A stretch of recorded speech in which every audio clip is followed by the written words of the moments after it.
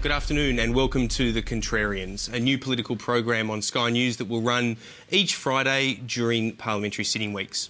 I'm Peter Van Onselen, your host, and joining me today we have two panellists Bruce Meagher, former Labor Party advisor, now communications expert, and Philip Senior, co author of Howard's End and a business consultant. Gentlemen, thanks very much for joining us. Afternoon, Peter.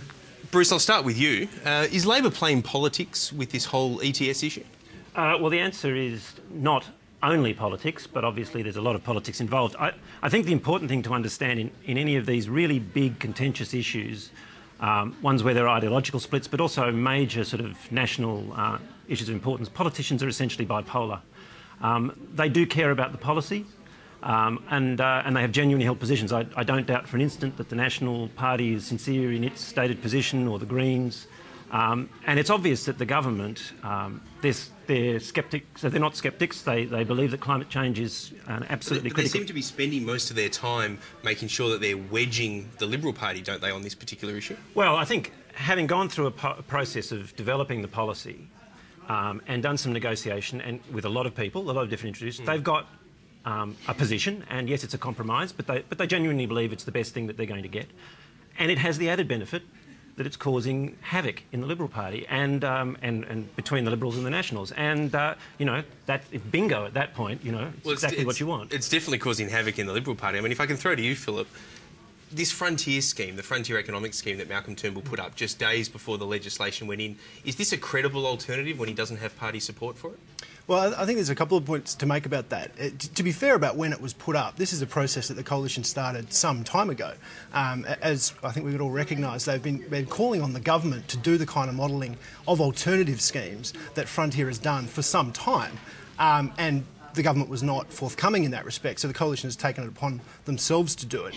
In terms of whether it's credible because the party might have some divisions over it, I think it's important to recognise that the party room's never going to 100% every member agree on an issue, but it is becoming clear that what uh, Malcolm Turnbull is doing is building majority support for an ETS, as long as that ETS is one that is going to deliver significant emission reductions, but at the lowest cost abatement. And that's what the frontier model highlights that the government's ETS isn't necessarily doing. I think I think I think there's a, a, problem in what they've done. Though I, I agree that it was useful in the short term. It gave them something that everybody could talk about.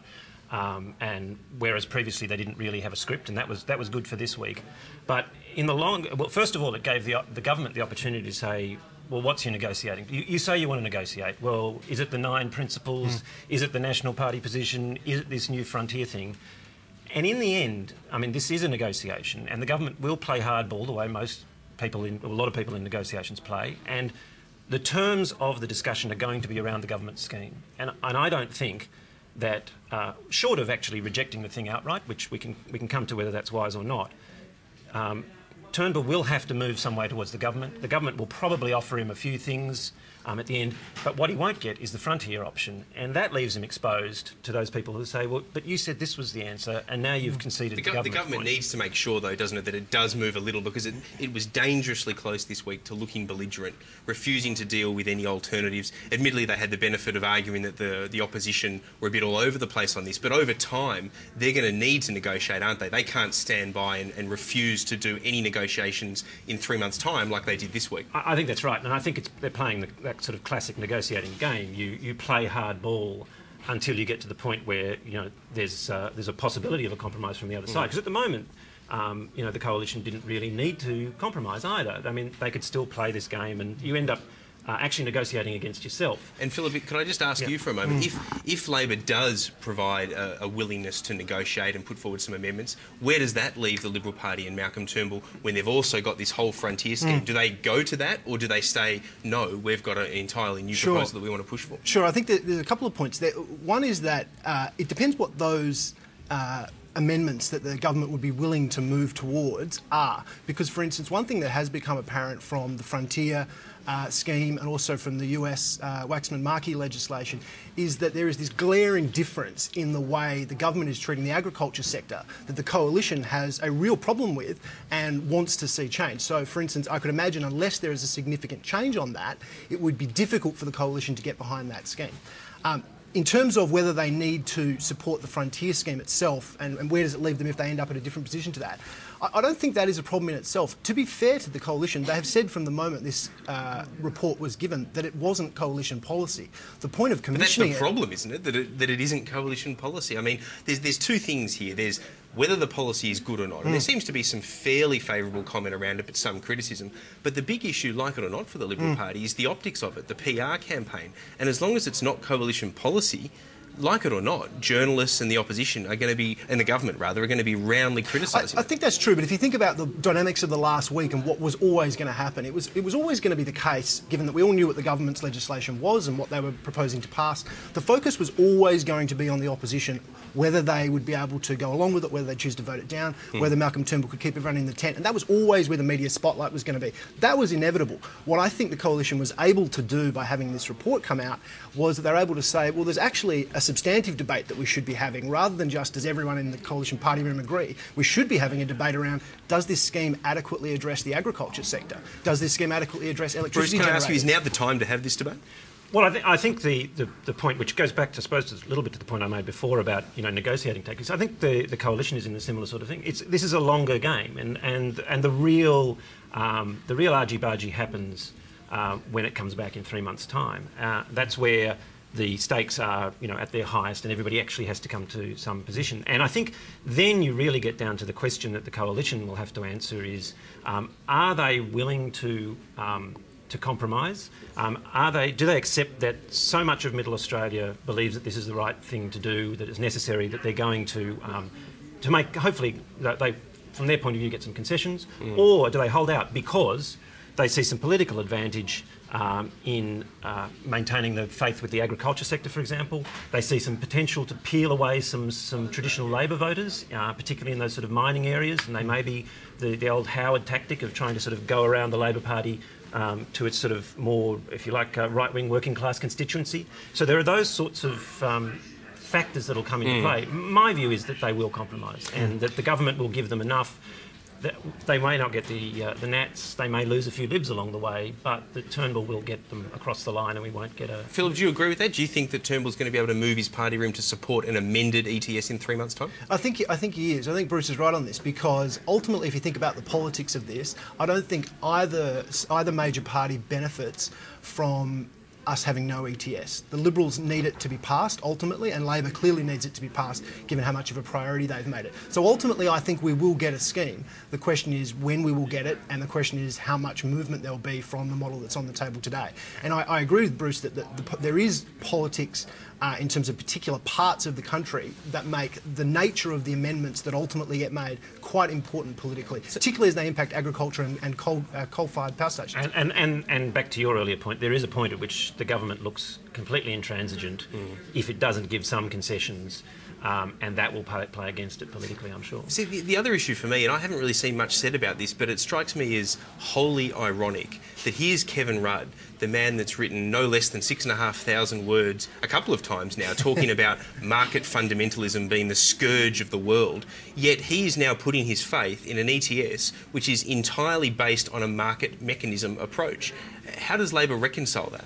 Well, I, I look, I think that that everyone is more complex in their in their real positions than, than sometimes you know you're making. This is the contrarians. What do you mean by conflict? well, he's taking. So he made he was making a series of political points um, in that essay, which were appropriate.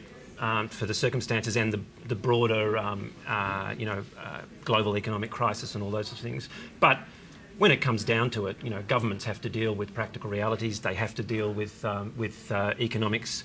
Uh, they have to deal with markets. He knows that. He's a pragmatist. Mm. He understands it. And you know, and Labor governments have done that um, over the years, even where they've had perce- perceived ideological positions that don't sit comfortably with that. Philip, you're an economist, honours, first class, all the rest of it. Did you get much out of Kevin Rudd's monthly essay? Not a lot, not a lot. what I did get is that uh, Kevin Rudd's a political chameleon, uh, but I think we probably already knew that uh, mm. if we watched the essays he'd written for the monthly in the lead up to assuming the Labor leadership, and then gradually how he morphed into uh, an economic conservative in the lead up to the election. I think we already knew that. What the monthly, uh, the more recent uh, monthly essay and then the essay in Fairfax highlighted is just how brazen he's prepared to be about uh, moving his political positions as the uh, as the environment requires. The other big issue of the week uh, was the Senate Privileges Committee. That was passed, that was successful. We now have a Senate Privileges Committee.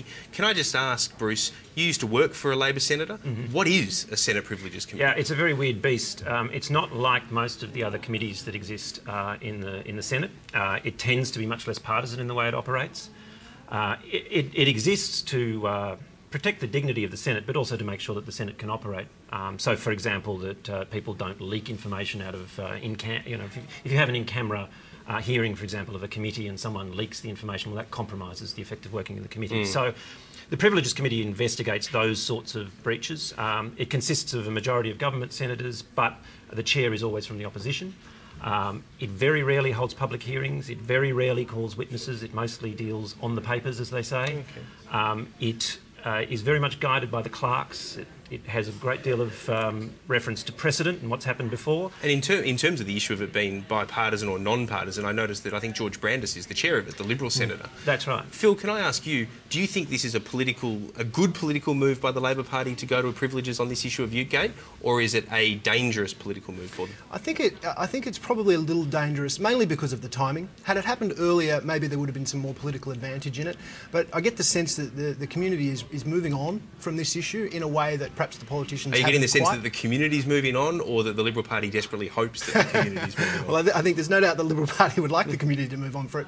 But uh, you know, just watching uh, Malcolm Turnbull on uh, Q and A a couple mm. of a couple of appearances ago, uh, it was quite clear from the audience reaction and the tenor of some of the questions being asked that, that people are interested in other issues like the ETS, like the education revolution, like what we need mm. to do in health. There's a whole range of issues that people are more interested in, and it's not like this issue hasn't been talked about and analysed to death and, to, and covered in the media. I think people are at the point where they're ready to move on. So in that sense, it could be a little dangerous to keep prosecuting it. Bruce, what are your thoughts? Because I tend to agree with Phil. I do think that the public's ready to move on. I think there are political risks for the Labor Party in, in having this Privileges Committee looking like they're almost kicking a dog when it's down. Yeah. Uh, what do you think? Well, I think it depends on what the Privileges Committee does. In a, in a sense, I think politically it served its purpose. The Liberal Party voted against having an, an investigation into something that everybody thinks is a bit dodgy in the way that the, that Senate committee occurred.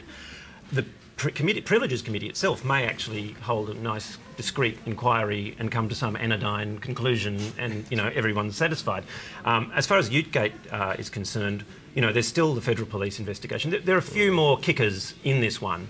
Um, I don't think that it has the immediate political potency anymore. Um, as I say, the, the, the well, potentially quite the opposite. I mean, potentially this is the kind of thing that if the Labor Party tries to use it politically, if the public have moved on, it could leave them looking like they're just that little bit too nasty by heart. Yeah, I, I don't. So I don't think they'll necessarily use the Privileges Committee to prosecute it terribly aggressively. That I, am not privy to their tactics, but that that would be sort of my guess. And then all you need, all the important thing as far as they're concerned, I think, is that the the damage to Malcolm Turnbull's you know, reputation and his mm. the view of pe- people's view of his judgment has been done.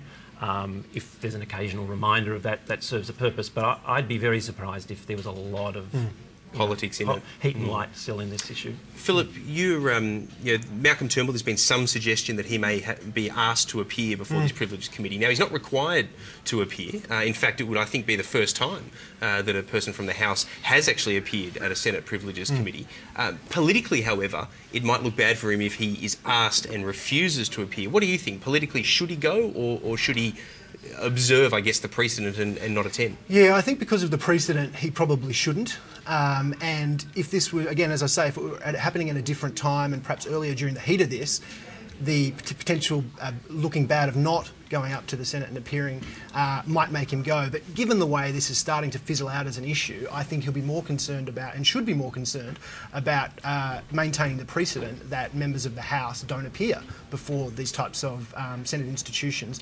And I don't think there would be a lot of political downside in him taking that position. Are you sure about that? I mean, do, do you agree, for example, Bruce? Because I can see the Labor Party, if Malcolm Turnbull refuses to appear, as much as that might be within the precedent set with Senate privileges, I can see the Labor Party making an awful lot of that, that he's again not answering the tough questions that he's refused to answer publicly? I, I think you'll find that that's one of those things where they wouldn't push the point. I think they know full well because you've got to remember that you know there are swings and roundabouts in these things. You, mm. you know, when you, are in opposition for a while, or you don't you know you don't control the numbers for a while.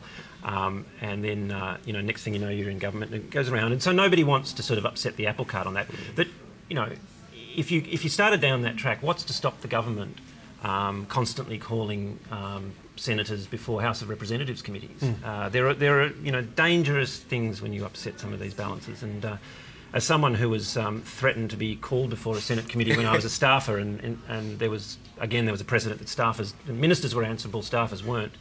Um, and I said to the minister I worked for at the time, what happens um, if they call me? And he said, uh, well, you won't go. And I said, that'd be a contempt of the Senate. And his response was, we'll visit you in jail.